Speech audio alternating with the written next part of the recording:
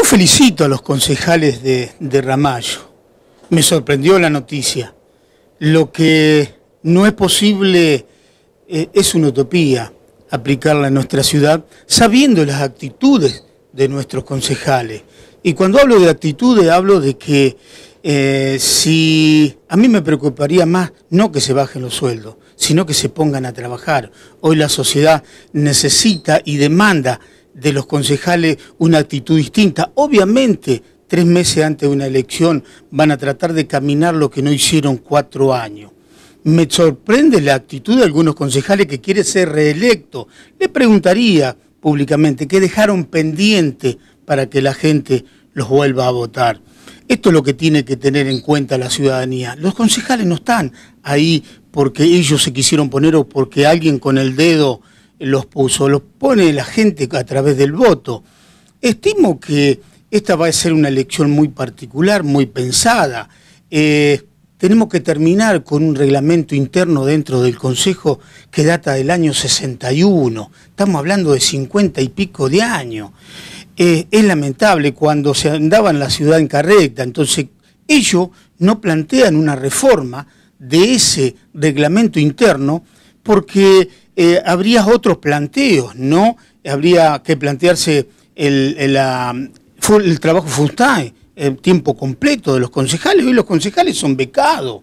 Eh, disculpe, el, eh, el, becado hace algo, una contraprestación para que eso ocurra. Yo calculo que esta gente son subsidiadas por, por nuestra ciudad en función de que ellos no abandonan su tarea particular. Hoy eh, basta eh, reafirmar lo que yo te estoy diciendo. Hay muy pocos concejales, contado con, dos dedos, no con uno, eh, que hoy en este momento están en, el Consejo trabajando. Están en su estudio jurídico, están en su estudio contable, están en su estudio de médico. Muchachos, si la función pública es una vocación, si ustedes no tienen vocación para ejercer la, función pública, por favor, dejen lugar a gente que realmente quiere y ama esta ciudad y quiere que la juventud tenga mayor posibilidad de trabajo, mayor seguridad. Dejemos de usar, eh, ellos tienen que plantear que el municipio deje de usar la gendarmería en operativos sorpresa recaudatorios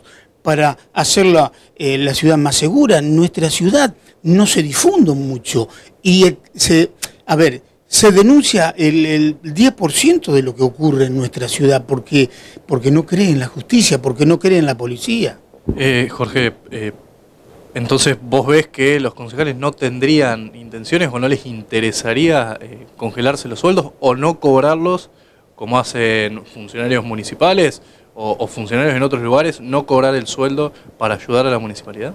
No, no solamente que no creo, no es utópico digo que, eso ocurra, y más te digo, estarán pensando ya reunirse para, para eh, aumentarse los sueldos. Fíjate que un concejal gana un promedio de 40 mil pesos, pero no solamente el, sueldo, acá te hay que contar los gastos de representación, los, los viáticos, eh, hay etcétera, etcétera, etcétera, que dibujan números por eso el, Consejo hoy se ha transformado, no hay oposición, se ha transformado en una escribanía para el señor Intendente. Se hace un festín porque los tiene agarrado a todo. A ver, si eh, están gastando la, la, plata del erario público, deberían publicar, valga la redundancia, en qué se gasta, cómo se gasta y dónde se define esa plata que es de todos los contribuyentes. No lo van a hacer. Insisto, en caso de llegar al Consejo, voy a plantear todo eso, lo voy a llevar a cabo, no van a dormir. Jorge, justamente eso iba a preguntar. Bueno, ¿vas a participar en las elecciones de este año?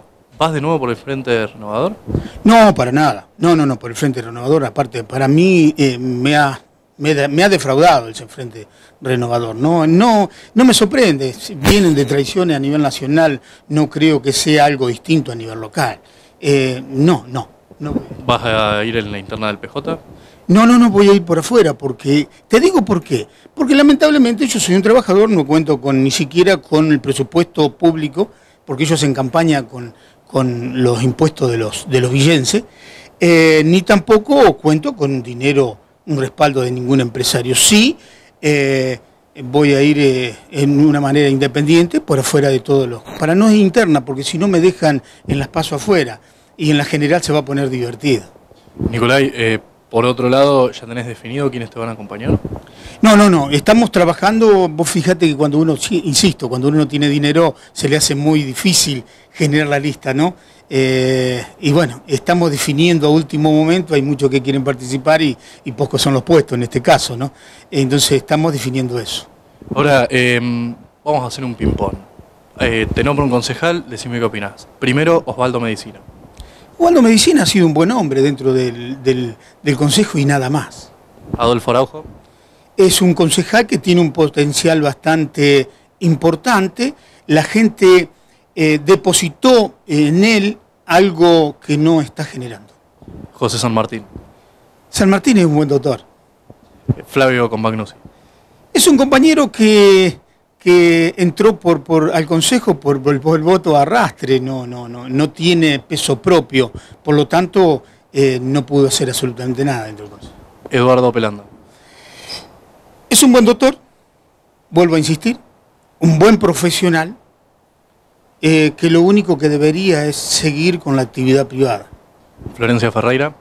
Florencia Ferreira lo ha demostrado, es decir, se ha ocupado más de los, de los asuntos personales, de, los, las audiencias en los tribunales y en los tribunales de Rosario que, que a la presidencia del Consejo, es decir, no, no, no. Es lo que llegan por arrastre, lamentablemente, llegan por arrastre sin proyectos. El problema es que la gente vota al mejor pasacalle, al mejor choripán, a la mejor eh, sustancia, pero no vota proyecto. Entonces, los villenses, estamos ¿cómo estamos? Y vamos a estar peor si esto no cambia.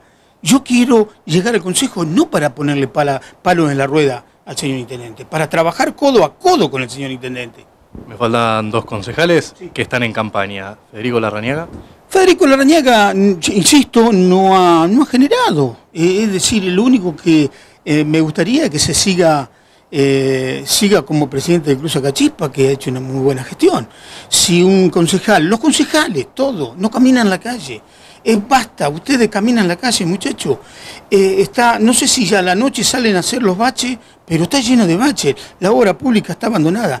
Están haciendo arreglos como el siglo pasado con la palita y el pisón no hacen el tratamiento necesario, no, no trabajan con el señor intendente para, eh, a ver, para aprovechar el plan empalme que hay ahora en los planes sociales para poner en práctica el proyecto que yo he presentado hace 15 años, que es la Escuela Municipal de Arte y Oficio. Es decir, ellos me preguntaban antes de dónde salen los fondos. Bueno, ahora ya tienen la posibilidad, lo que ha anunciado el señor presidente, le guste o no, es nuestro presidente, eh, ha anunciado el plan Empalme, es decir, que van a usar el dinero de los planes para capacitación laboral. Hoy tenemos una gran oportunidad. Vos fíjate que todos los empresarios que tenemos eh, haciendo viviendas y edificios traen paraguayo y boliviano, mano de obra barata. ¿Por qué? Ellos argumentan que acá no hay obra, mano de obra especializada. Hoy tenemos, y tenemos un montón de gente con muy buen conocimiento del oficio, grande ya, que quiere colaborar para enseñarle a la, juventud. Entonces, si esto no ocurre, está mal horno. Por último, Carla Bertero. Carla Bertero es una buena contadora, bueno, eh, ha hecho muy buenas cosas, ha hecho entrar la hermana, ha hecho entrar muchos familiares dentro del municipio, donde ya eh, creo que eh, como es candidata del senador, eh, cree que la gente lo va a votar. Bueno, ya eh, digo, yo me caracterizo lamentablemente por decir lo que siento, ¿no? Eh, sin ofender a nadie, pero digo lo que siento y lo que, y lo que propongo. Ahora, si esta gente vuelve a hacer votar Carlos Alegre, Carlos Alegre estuvo en el Consejo, jamás hizo absolutamente nada. Estuvo en el Ejecutivo, lo echaron como un perro, ahora quiere volver al Consejo y apoyado por el kirchnerismo, que está muerto. Entonces, chicos, acá el salto en la vida, les digo a ustedes, les digo a usted, señora, señora, a usted juventud, eh, si el salto, no estamos capacitados para pegar el salto hacia adelante, eh, lo que viene va a ser peor que lo que tenemos. El salto no se pega ni para el costado ni para atrás, siempre hacia adelante. Yo propongo a esta gente que me dé la oportunidad, que me dé la oportunidad de demostrar que las cosas se pueden hacer. No va a ser fácil, nada grande se construye desde la comodidad, nada eh, se hace sin sacrificio. Yo no propongo cosas fáciles, pero sí posibles.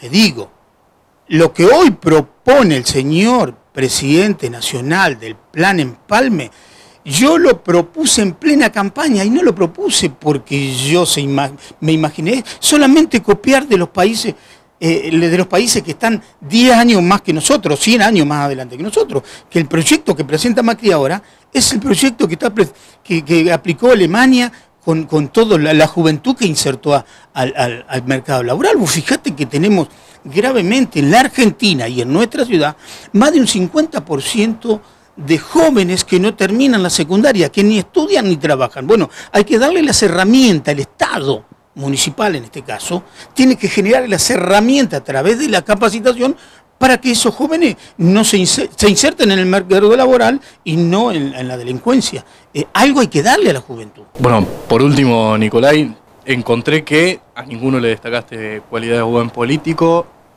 ¿Hay alguna propuesta para los concejales de tu parte? No, no son buenos políticos, son muy buenos comerciantes.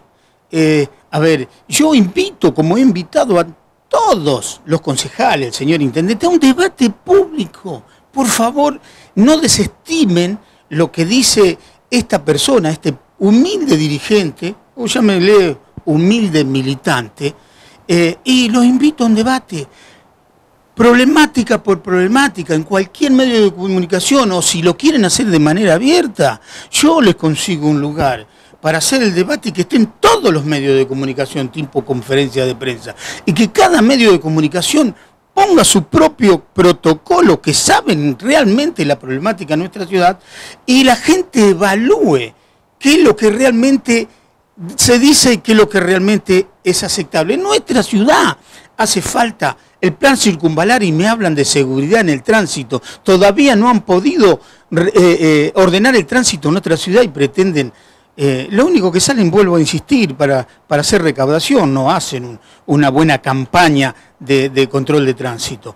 Em, no tenemos el plan circunvalar, no tenemos el desvío para camiones, tenemos un promedio de 1.200 camiones por día y con el agravante que en el horario nocturno pasan en plena ciudad los cargamentos peligrosos de nuestras industrias, que nunca, gracias a Dios, hasta ahora ha pasado nada, pero no nos podemos arriesgar. Es decir, a ver, tenemos el, el, desagüe que han hecho en Barrio Palmar. Yo no quiero asustar a la gente, ni quiero alertar, pero quiero decirle por este medio que lo que hicieron es insuficiente. Si hay precipitaciones con menor eh, prolongación de la que se dieron, lo que hicieron no tiene sentido, ahí hay que hacer un puente por elevación y ensanchar el, canal de Barrio Palmar.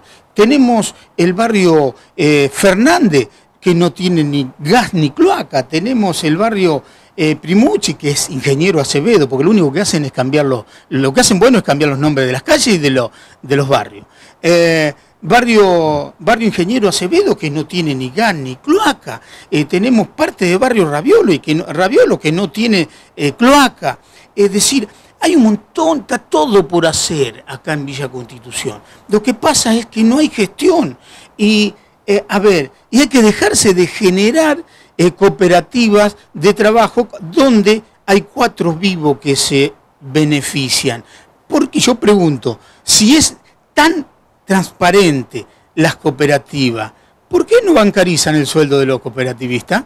Es la pregunta que deberían dar explicación ellos, el señor intendente. ¿Qué pasó con el auto del intendente? ¿Dónde está? Eh, hay interpelación. Los concejales llevaron al intendente porque pretenden llevar al secretario de la Pública. Acá el responsable del señor intendente de haber autorizado, entre comillas, al secretario de la Pública para que salga fuera de la ciudad con el vehículo oficial de todo lo villense y que hasta ahora no han mandado un informe coherente.